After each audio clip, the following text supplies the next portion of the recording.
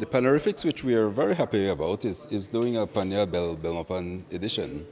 Remember, the National September celebration have looked at looking how we're going to spread this thing out.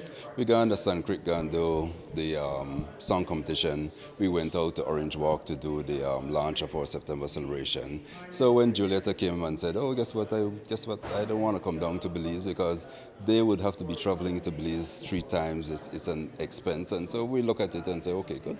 We have no um, problem with them doing a panyard. We like the panyard in Orange Walk. You know, so as where Belize district is doing their panyard, we would hope that a panyard be all over the country. All the municipalities be playing pans and having this full session of pans going through. But we are start small. And NICH is also encouraging the, the pan bands to do their association. And so we could build build a whole pan movement in Belize that would definitely generate the again the youth to start playing, doing something after school, getting their mind open. Remember, this is a original Caribbean instrument, and we should be proud for the Pannerifix is a very popular band. Will this take away from the show that you put on in Belize?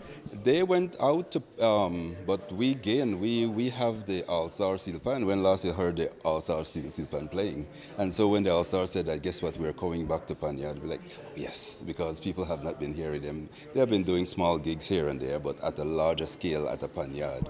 You know, having the All Star Steel Steel Pan coming in, I'd be like, yes, this is good. I mean, you know, because they have been away. And so we definitely want them to come in.